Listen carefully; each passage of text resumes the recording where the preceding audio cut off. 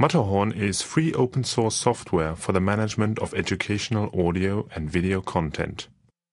In its most typical form, a school can use Matterhorn to capture classes and events, process the recordings, and distribute those recordings to learners alongside a suite of tools for engaging with the recording to support learning.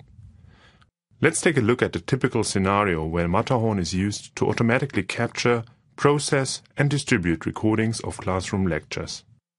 Using a set of web-based tools, an administrator enters the schedule of classes to be recorded. Together with descriptive information, the administrator can schedule individual recordings or a group of recordings and can organize them into series. Matterhorn is configured to communicate with any number of Matterhorn capture agents installed in classrooms across campus. Let's take a closer look at what the capture agent does in the classroom. Matterhorn provides a set of hardware and software specifications for schools to build affordable Linux-based capture agents for the classroom. The capture agent records audio together with the input from a VGA signal, usually a presentation running on a computer. At the same time, the Matterhorn capture agent can record input from a camera. All of these inputs are captured and synchronized by Matterhorn for processing. The administrator has a number of tools for managing recordings, including the ability to edit, trim,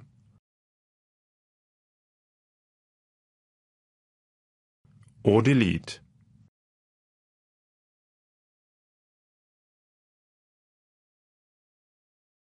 Matterhorn can also be told to hold recordings for the administrator to review before they are published, or to add a captions file to be processed with the video.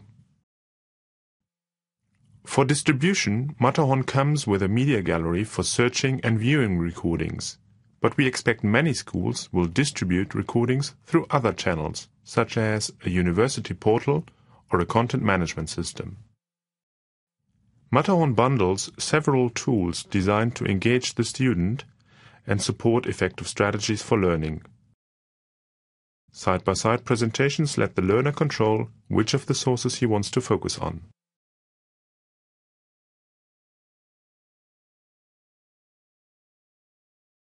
Matterhorn can also segment the video based on slide changes, so that the learner can jump right to the part of the lecture where a particular topic is covered.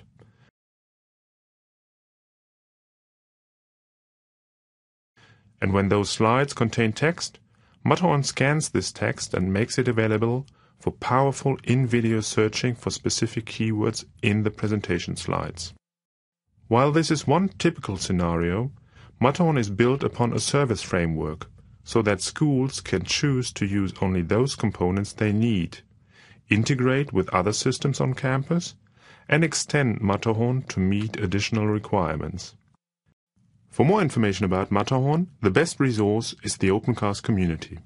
Join the community mailing list, ask your questions, and share your ideas. We hope you'll join us.